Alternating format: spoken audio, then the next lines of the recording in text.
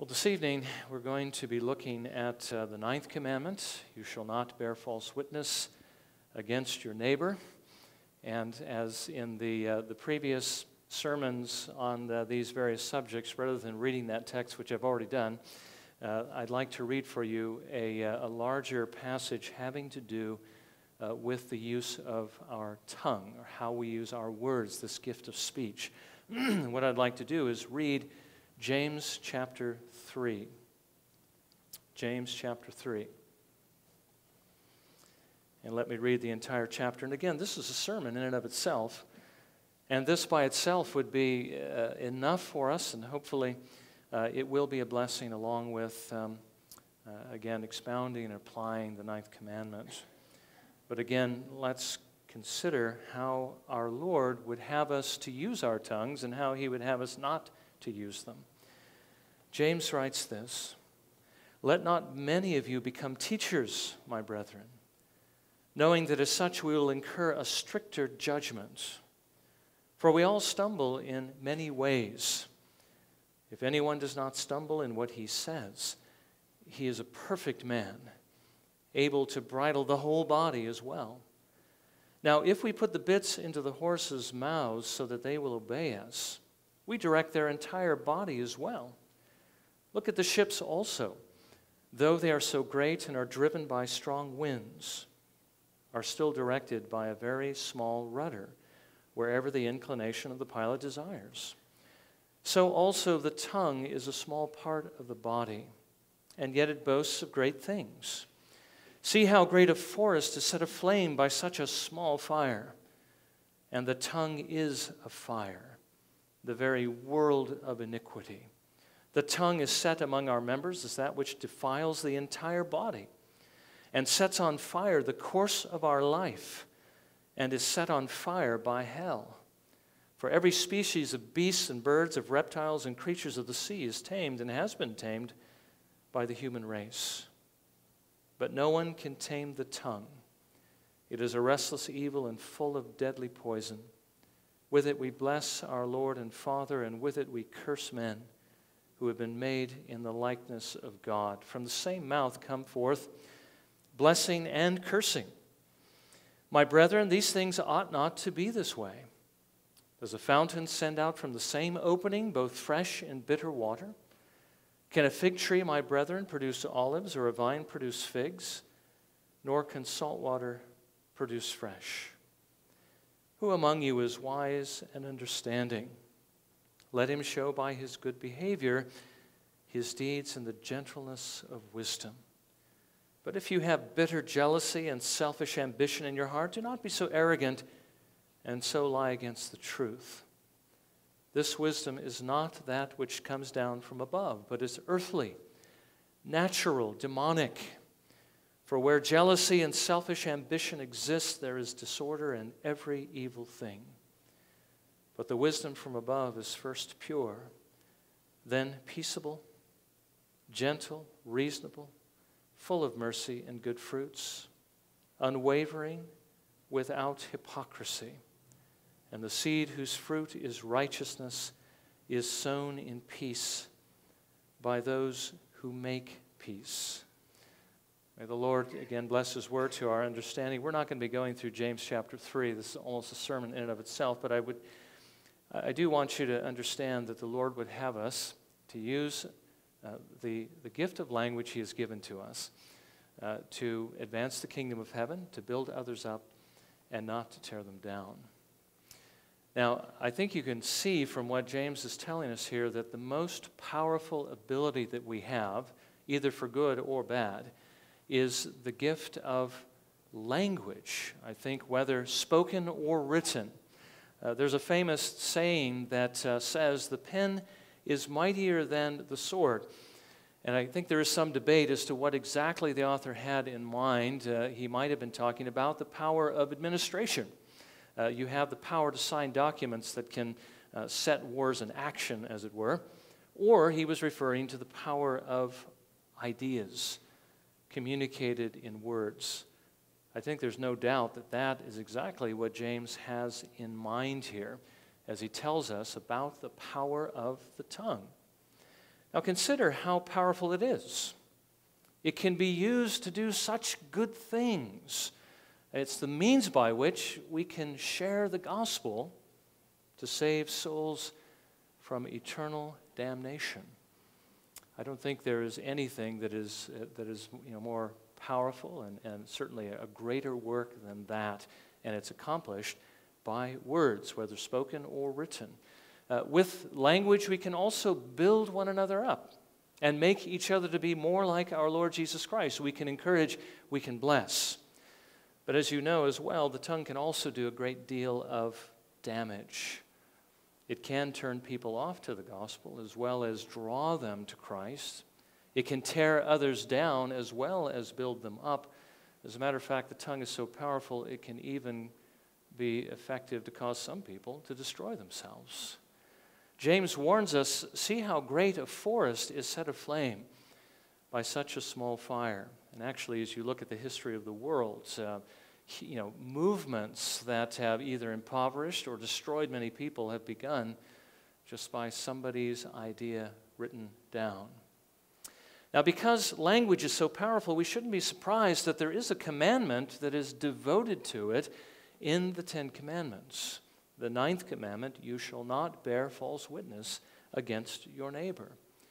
This evening, what I want us to consider is how we should use the tongue to love our neighbor rather than to destroy them, and in loving our neighbor, to love God.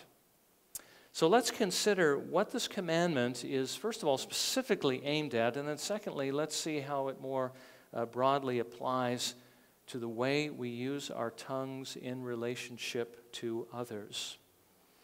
Now, first of all, let's consider what is specifically aimed at in this commandment. And I think you understand that this commandment is not spoken to tell, merely to tell us that we shouldn't lie. It has to do with that. But more specifically, it has to do with not bringing false witness against our neighbor. And what it envisions is a situation where we're called upon to testify, perhaps in a dispute, perhaps in a court. And in situations like that, the Lord is telling us that we are to speak the truth, that we are not to lie to bring testimony that is not true against someone else. Basically, that's, um, that's what's behind what used to take place in the court when you lay your hand on a Bible and you would swear to tell the truth, the whole truth, and nothing but the truth, so help you God. Now, it's interesting that in that one vow, as it were, that one oath, you were actually invoking two commandments uh, the, the, the third commandment and the ninth commandment. If you're going to swear by the name of God, then you'd better make sure that what you're going to say is true because you're calling God to bear witness to it. And if you're going to bear witness um, regarding your neighbor, then what you say about your neighbor better be true. It better not be a false witness. You know, I, I was tempted to read, and, and probably could have just as well read, the account in 1 Kings 21 of the abuse of this principle uh, perhaps you're familiar with the story about Naboth and his vineyard and how that vineyard was next to King Ahab's palace. And he wanted that vineyard for himself. So he approached Naboth and he wanted to either trade for it or to buy it outright. But Naboth refused because it was his family's inheritance. It would be a reproach to him to give it or even to sell it to someone else. Now, Ahab didn't like the uh, outcome of that, and he was rather depressed about it. And when Jezebel saw that he was depressed and found out why, she said, I will get that vineyard for you. Don't worry about it. It's really quite easy. All she had to do was have the king throw a feast, uh, hire a couple of worthless men to accuse Naboth falsely of cursing God and the king, have him executed, and then take the vineyard. And that's exactly what she did. And apparently, Ahab also agreed. And they did it. And of course, what they did, as you well know, is, was not pleasing to the Lord. Now, why not? Well, because she, Ahab, and these worthless men broke the ninth commandment. They brought false witness against their neighbor, as well as the third commandment, invoking God to bear witness to this lie. The sixth commandment, which is, You shall not murder your neighbor And of course, Ahab began by breaking the 10th commandment, which is, You shall not covet what belongs to your neighbor. Now, again, this is exactly what the commandment forbids for obvious reasons. In those days, any fact was to be established on the basis of two or three witnesses. And really, what was to keep two or three from conspiring together to take just about anything they wanted by way of false witness or false testimony? Well, there was also a warning that if you bring a false testimony, if you bring false witness against your neighbor and you happen to be found out, then what it is you intended to do to your neighbor would actually be done to you. In Deuteronomy 19, verses 15 through 21, we read this A single witness shall not rise up against a man on account of any iniquity or any sin which he has committed. On the evidence of two or three witnesses, a matter shall be confirmed. If a malicious witness rises up against a man to accuse him of wrongdoing, then both the men who have the dispute shall stand before the Lord, before the priests and the judges who will be in office in those days. The judges shall investigate thoroughly. And if the witness is a false witness and he has accused his brother falsely, then you shall do to him just as he had intended to do to his brother. Thus you shall purge the evil from among you. The rest will hear and be afraid, and will never again do such an evil thing among you. Thus you shall not show pity, life for life, eye for eye tooth for tooth, hand for hand, foot for foot. Whatever you intend through your false testimony will be done to you. Or if this were practiced today, I think there would be a great deal more fear, a lot less of this uh, uh, you know, litigation against people to sue them uh, for whatever, because they'd be afraid the same thing might happen to them. Now, again, love is the fulfillment of the commandments. Can you see the love behind this that dictates to us that we speak the truth about others, especially when we're testifying? I mean, the purpose of our testimony is to punish the guilty, but is to vindicate the innocent, not to punish the innocent. The Lord would have us to love our neighbor as we love ourselves. Now, that much I think is, is clear, but we do need to understand that there is a larger principle here. We need to love our neighbor with our words and not use our words to injure them. Uh, there's other ways that we can be false witnesses against one another besides those instances uh, within disputes in courts of law, such as spreading damaging lies about someone. We call that slander. Now, what does God think about slander? We've already seen in our call to worship that those who practice this sin cannot ascend the hill of the Lord or dwell in his tent. They will not inherit the kingdom of heaven. O Lord, who may abide in your tent? Who may dwell on your holy hill? He who walks with integrity and works righteousness and speaks truth in his heart. He does not slander with his tongue, nor does evil to his neighbor, nor takes up a reproach against his friend. Really, slander is perhaps the most damaging thing that we can do to anyone. Some have ruined others' reputations, some have ruined their lives by the slanderous things that they have said about them. The Lord would tell us to speak the truth and not to lie regarding our neighbor. But now the question might arise what if what you have to tell about someone else happens to be true and it's not a lie? Does that mean it's okay to broadcast it and to share it with everyone else? Well, what if that truth damages their reputation for no good reason?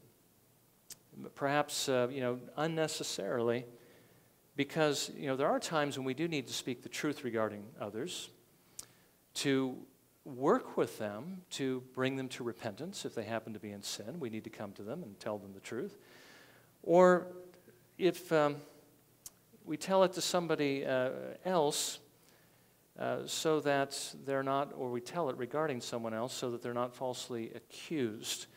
Um, In other words, we may need to, to speak the truth about what somebody did because another person is really behind it to vindicate someone who may be falsely accused. Now, there are good uses for the truth, but if it's not necessary to tell something you know about someone to somebody else, if there's no good reason for it, that is called gossip. Now, what does the Lord think about gossip? Well, for one thing, he points out that it will undoubtedly injure our neighbor if we say something about them, if we broadcast the truth. It will also very likely destroy their relationship with others. I don't know if there's anyone here who hasn't been the object of gossip and haven't found people avoiding you or, or angry at you or even separating themselves from you because of that. Solomon writes this in Proverbs 17 9. He who covers a transgression seeks love, but he who repeats a matter separates intimate friends. How can we love others if we tell truths about them that are damaging to their reputation for no good reason? You know, the, the, the, Lord in His Word actually tells us that gossip is a form of slander. And so it falls under the same censure. We're actually told not to associate with those who, who slander, or actually gossip slash slander, because if we listen to them, we're actually participating in that same sin. Now, I realize that this, you know, convicts, I'm sure, all of us here. Because we have listened to things that we shouldn't be listening to, and perhaps sometimes we've enjoyed hearing uh, things that other people have said about others, but we need to realize that even if it's true, if it's being used in a damaging way, it is gossip and it's slander. Solomon says in Proverbs 20, verse 19, He who goes about as a slanderer reveals secrets. Therefore, do not associate with a gossip. It's interesting. He's using those two terms synonymously slanderer and gossip, one who reveals secrets. So, what should you do with potentially damaging information that you find out about someone else? Well, again, Solomon, uh, addressing this particular issue, says you should keep it to yourself. Certainly pray for that individual. He who goes about as a talebearer reveals secrets, but he who is trustworthy conceals a matter. If you love somebody else and you know that this particular information is going to, to damage them, then keep it to yourself. Now, what if you don't love them? well, then you need to repent because the Lord tells us that we need to love our neighbors, we love ourselves. Now, another interesting thing we could think about is what if, if you tell a lie about somebody that doesn't damage their reputation? What if it actually helps them? well, there are situations where things like that can happen. There's really two different kinds of lies those that injure other people, and we call that slander, as we've seen, but those that could potentially make the other person seem better than they are. We call that flattery. Now, the Lord tells us that we should try to outdo one another in showing honor to one another. We are not to, to boast regarding ourselves, and we are to really boast regarding others and try to honor them, but that's only if there is honor to be given. If there isn't, then it really boils down to flattery. And flattery is usually something that we use because we have some other motive in mind, something we want to gain for ourselves. If we try to influence people by exaggerating their good qualities, if we lie to them about themselves. Again, flattery is never good because flattery is always done for a bad reason. There's no good reason to flatter, which is why Solomon writes this in Proverbs 29 or 29 5. A man who flatters his neighbor is spreading a net for his steps. Now, flattery is, it can go two different ways. You can not only flatter somebody else, which we ought, ought not to under any occasion, because again, there's no good reason to flatter. And if you actually end up building somebody up in a false idea of themselves, you're not really doing them any good because the Lord would have us to be humble and not proud. But you can also exaggerate the other direction regarding yourself, bearing false witness about yourself. We call that boasting, we call that bragging. And Paul tells us that if we love the way the Lord calls us to love, that we should never even do that. Love does not brag. Love is not arrogant. And again, Solomon tells us, let another praise you, and not your own mouth, a stranger, and not your own lips. Boy, Solomon was a wise man, wasn't he? I think we do well to read the Proverbs and apply it because it's really the commandments, the Ten Commandments, applied to life. It is a very, it was a book filled with a great deal of wisdom that we could use for living. Now, the next question I'd like to deal with is what if you are the brunt or the, the object of the slander? What if somebody slanders you? What if somebody gossips about you? What if somebody tries to flatter you? What are you supposed to do? Well, what you need to do is the same thing that you would do if somebody tried to injure you in some other way. And that is, you are not to try to get even, but you are to return good for evil. Jesus says this, and again, perhaps it's one of the most difficult things that he calls us to do, but we must do it because this is what our Lord would do, and this is good, this is right, this is loving. He says this But I say to you who hear, love your enemies, do good to those who hate you, bless those who curse you, pray for those who mistreat you. Whoever hits you on the cheek, offer him the other also. And whoever takes away your coat, do not withhold your shirt from him either. Love your enemies and do good and lend, expecting nothing in return. And your reward will be great. And you will be sons of the Most High, for he himself is kind to ungrateful and evil men. Be merciful, just as your Father is merciful. Paul writes the same thing in Romans 12, verse 14. Bless those who persecute you, bless and do not curse. You know, again, that's one of the most difficult things that the Lord calls us to do because when we happen to be the brunt of somebody's slander or somebody's injury, our first reaction, of course, is anger and our second reaction is, how can I get even? How can I get back at this person? How can I satisfy my desire for revenge?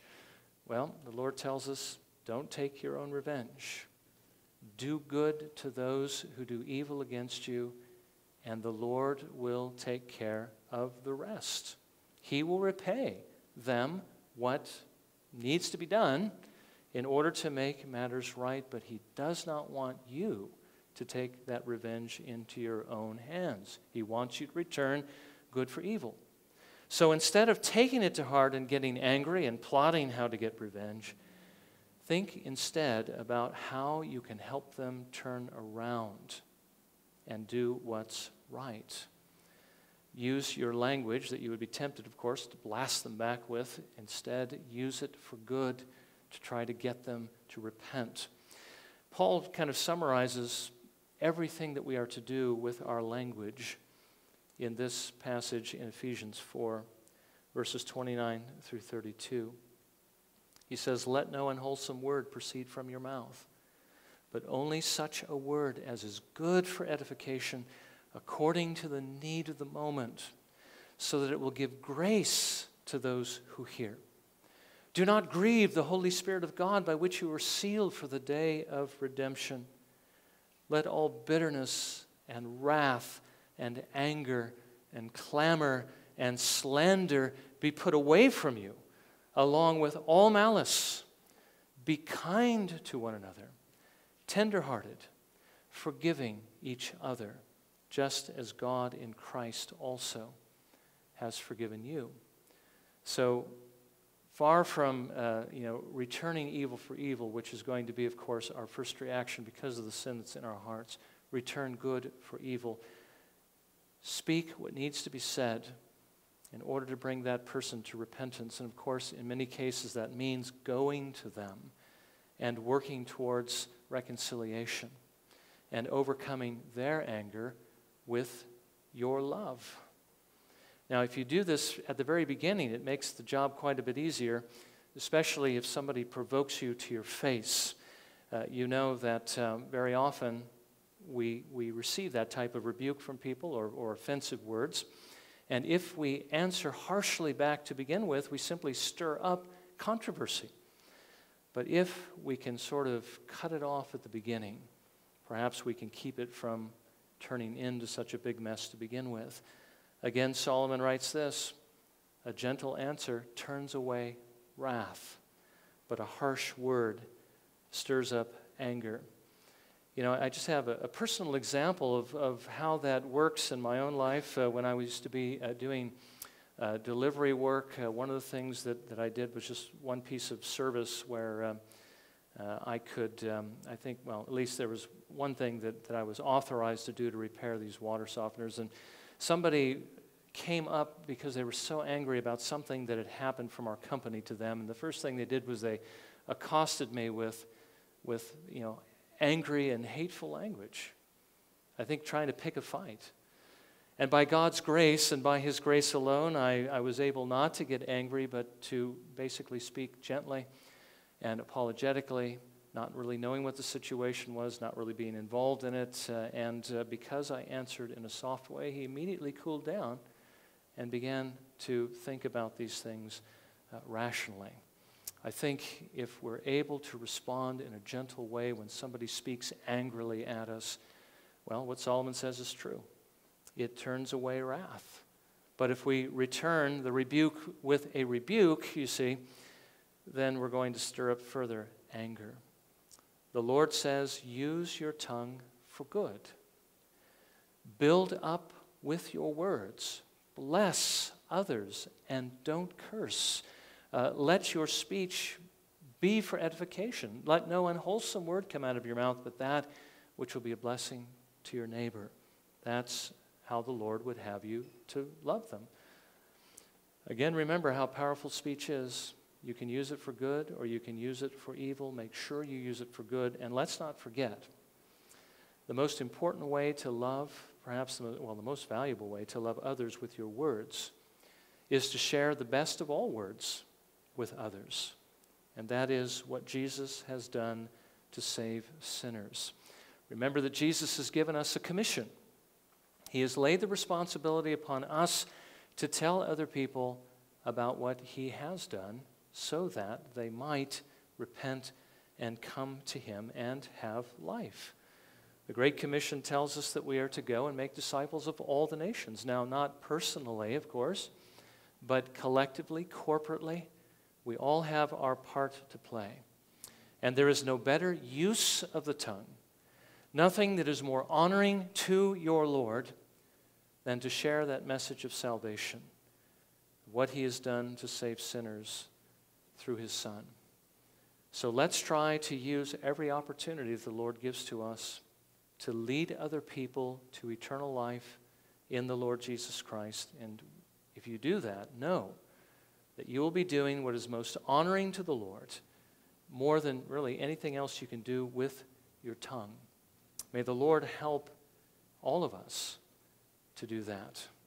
let's, uh, let's bow in a moment of prayer. And again, let's, let's ask that the Lord would help us to repent of our uh, ungodly use of language, if, if we happen to be guilty of that, and even our response to language that comes our direction, and ask that He would give to us a heart that is willing to return good for evil and is also willing to forgive those who have offended us.